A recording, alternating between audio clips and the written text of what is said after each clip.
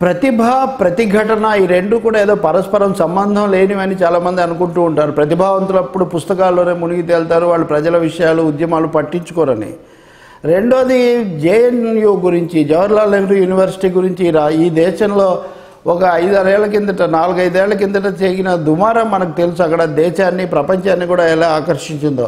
ఆ సమయంలో జేఎన్యూ మీద ఎలాంటి ముద్ర వేశారన్నది కూడా మనం చూసాం కానీ ఇప్పుడు అంతర్జాతీయంగా ఆర్థిక శాస్త్రంలో నోబుల్ బహుమతి పొందినటువంటి అభిజిత్ బెనర్జీ దోహ్లా అన్నటువంటి ఆయన సతీమణితో కలిసి అలాగే మైకల్ క్రన్నర్ అనే మూడో వ్యక్తి వీళ్ళందరూ కూడా కలిసి పేదరికాన్ని తగ్గించడానికి ఒక నూతన వ్యూహాలు ఏంటి అనేది వీళ్ళు ప్రతిపాదన చేశారు.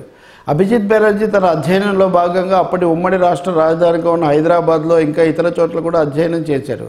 అంటే వాళ్ళ విజ్ఞానాన్ని వాళ్ళ ఆహారాన్ని వాళ్ళకి సంబంధించిన ఇతర కొలబద్దలను మనం ఎలా సరిగ్గా అధ్యయనం చేయాలన్నది ఆయన ప్రధానంగా తీసుకున్నారు. దానికి ఇప్పుడు నోబెల్ పురస్కారం కూడా వచ్చింది. ప్రపంచమంతా అభినందిస్తూ ఉంది. గతంలో అమర్త్య సేన్కి వచ్చింది వీళ్ళిద్దరూ అంతకుముందు రవీంద్రనాథ్ ఠాగూర్కి కూడా వచ్చింది. ఈ క్రమంలో కనుక మనం చూస్తే అభిజిత్ బెనర్జీ విషయంలో ఆసక్తికరమైనది ఆయన జేఎన్యూ విద్యార్థి పూర్వ విద్యార్థి కావటం.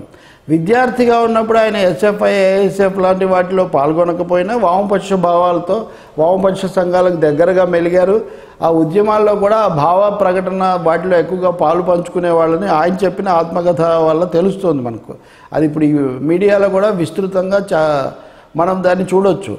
కానీ ఆ సందర్భంలోనే దళితులు వెనుకబడిన విద్యార్థులకు అవకాశం కల్పిస్తుంది జేఎన్యూ. ప్రత్యేకంగా మిగతా చోట్ల ఎక్కడ లేని ఒక ప్రత్యేకత జేఎన్యూలో ఉంది. దీన్ని ఎత్తివేయడానికి పంతొమ్మిది వందల ఎనభై మూడులో ఒక తీవ్ర ప్రయత్నం జరిగింది. ఈ ప్రయత్నానికి వ్యతిరేకంగా విద్యార్థి సంఘాలన్నీ కలిసి ఆందోళన చేస్తే ఆందోళనలో అభిజిత్ బెనర్జీ కూడా పాల్గొన్నారు. అప్పుడు ఆయన అరెస్ట్ చేసి ఓ పది రోజుల పాటు తిహార్ జైల్లో కూడా పెట్టారు. అంటే ఆయన ఆందోళన చేశారు పది రోజులు తిహార్ జైల్లో ఉన్నారు తర్వాత మళ్ళీ వచ్చి తన అధ్యయనం తను కొనసాగించారు. అప్పుడు కూడా ఢిల్లీ స్కూల్ ఆఫ్ ఎకనామిక్స్ కాకుండా అసలు జేఎన్యూనే ఎందుకు ఎంచుకున్నారంటే జేఎన్యూ ప్రతిష్ట వాతావరణం ఇవన్నీ కారణం అని చెప్పి కూడా ఆయన చెప్తున్నారు. ఈ క్రమంలో నేను చెప్పదలుచుకున్నవి రెండు విషయాలు. ఒకటి జేఎన్యూను అప్రతిష్టపాలు చేయడానికి లేదా జేఎన్యూ యొక్క చరిత్రను కాస్త కళంకితం చేయడానికి ఎన్ని ప్రయత్నాలు జరిగినా కానీ ఎటువంటి వాళ్ళకు అది ఆవిర్భవించడానికి అవకాశం ఇచ్చింది. ఎటువంటి ఆలోచనలకు పున పురుడు పోసి అంతర్జాతీయ యవనక మీద ఆవిష్కరించింది అన్నది మనకు అభిజిత్ బెనర్జీ ఉదాహరణలో తెలుస్తుంది.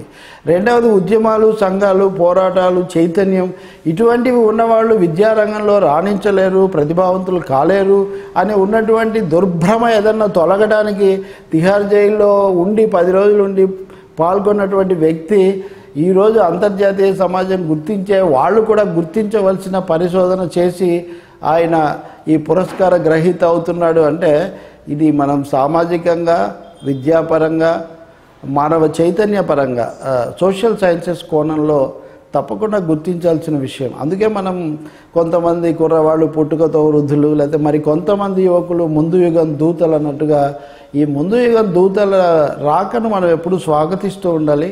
వాళ్ళని అభినందిస్తూ ఉండాలి. అభిజిత్ బెనర్జీని కూడా మనం ఆయన సతీమణిని మనం అభినందిద్దాం.